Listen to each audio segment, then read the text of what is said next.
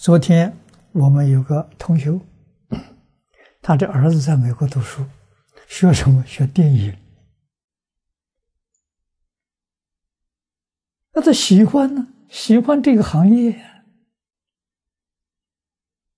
啊？佛教不教呢？教啊！电影艺术，如果这个艺术的内容。里面是孝悌忠信，是善恶报应，这个好啊！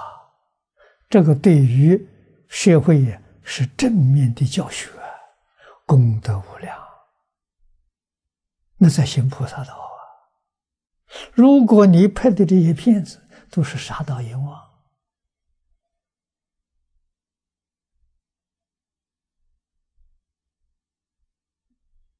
都是引导人不正常的这思想观念，那你造业，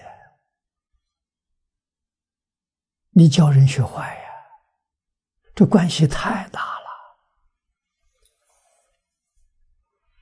啊，这个东西不是不好，啊，电影是个是个中立的，啊，问题是内容，内容是正面的，是佛菩萨；内容是负面的，那就妖魔鬼怪。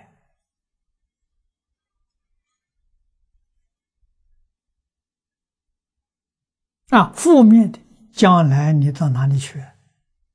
你到地狱去，你害多少人啊？正面的说，将来你到极乐世界，你成佛去了。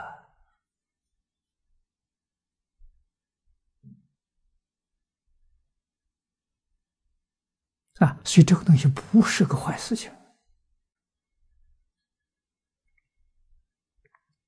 我初学佛的时候，六十年前。我在台湾，台湾还没有彩色电视，黑白的。啊，那个时候，方老师就告诉我，指着电视说：“说这个工具是好东西，如果用的用错了，用在负面上，它会害国家、害民族、害尽天下人。”啊，如果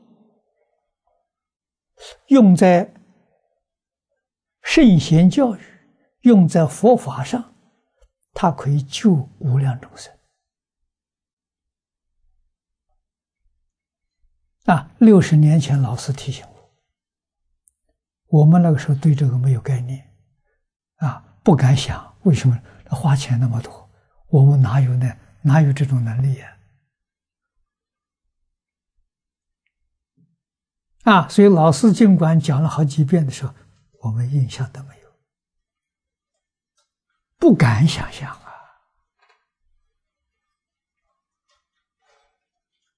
啊，没有想到六十年之后，我们也就用上了。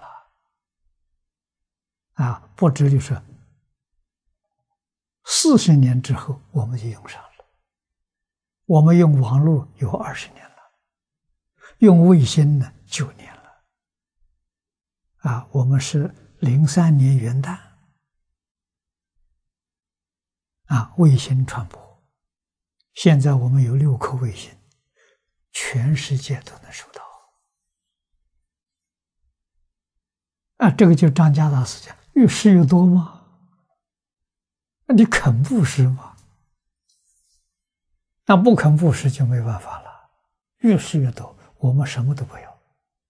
就要这些工具啊！这些工具，我们在这里讲解，全世界的人在电视机面前，我们都能看到，都能够在一起学习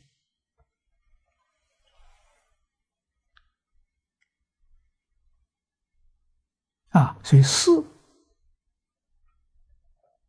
永远没有是非善恶。一切事，就看你用心了。你用心善，事事都是好事，没有一样不是好事。你用心不善，没有一样是好事。